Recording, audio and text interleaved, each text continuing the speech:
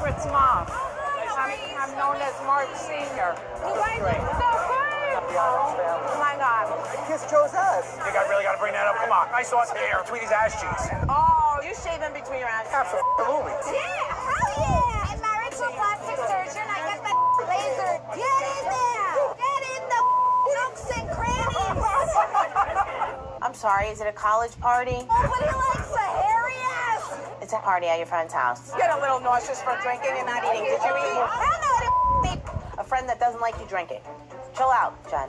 At least she's got road. Finally, salami with some crudité. Crudité does not soak up alcohol, just saying. I'm staying away from the tuna. Exactly. These shrimps are jumbo.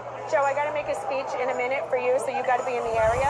What are you girls doing? I'm drinking tequila